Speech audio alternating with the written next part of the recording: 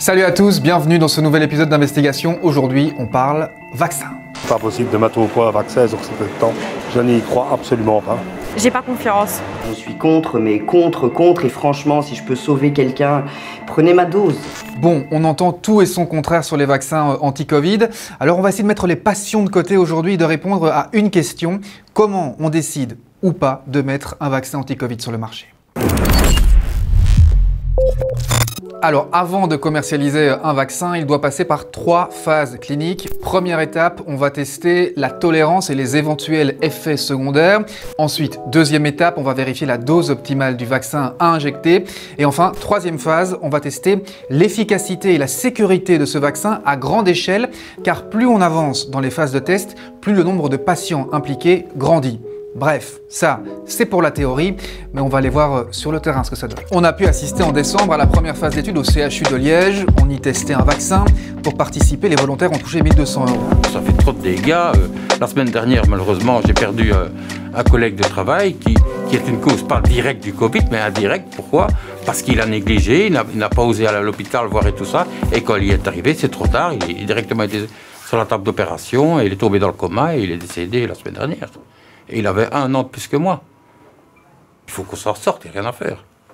Il y a un suivi constant 24 heures sur 24 où lui peut nous appeler quand il le veut en cas de symptômes inhabituels ou de crainte, plus des visites systématisées, des coups de téléphone pratiquement quotidiens tout au début, puis ils sont espacés, et des visites cliniques qui sont systématiques, qui sont euh, établies dans le cadre du suivi et qui vont se faire pendant un an. Les médecins sont donc très attentifs au suivi des patients, surtout qu'eux-mêmes ne savent pas qui a reçu le placebo euh, ou le vaccin. C'est ce qu'on appelle la technique du double aveugle. Si je savais qu'il a reçu le placebo, je serais moins, euh, moins, formel dans le suivi, moins cadrant. Quand je, le vois, je le considère comme patient potentiellement reçu, donc je suis attentif à tout ce qui peut se passer.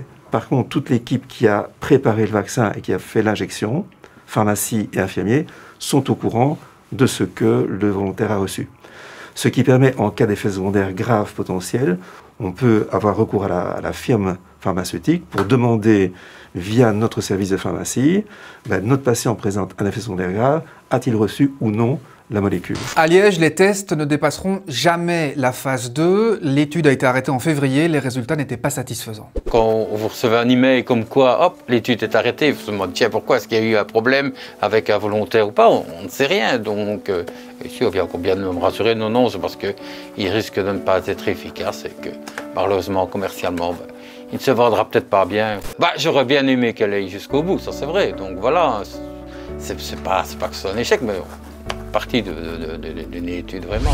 Contrairement au vaccin de Pfizer, AstraZeneca ou encore Moderna, le vaccin testé à Liège n'avait pas un taux d'efficacité euh, assez important et c'est pour ça hein, que la firme qui commandait l'étude a décidé d'arrêter. Ce n'est pas du tout euh, pour une raison de, sécurité, il n'y a aucun danger vis-à-vis de, la santé des, personnes qui ont participé à cette, euh, à cette étude, fort heureusement évidemment.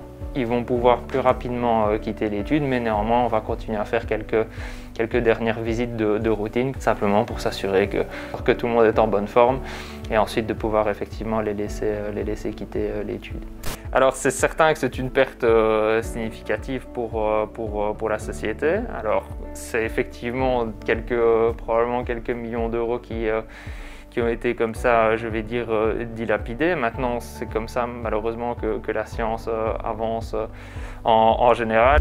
En fait, c'est le jeu, la plupart des projets de vaccins n'aboutissent pas, et pourtant certains estiment que ce jeu est biaisé. Ils pensent que puisque les firmes pharmaceutiques financent les études, eh bien les hôpitaux qui les réalisent ne sont pas indépendants.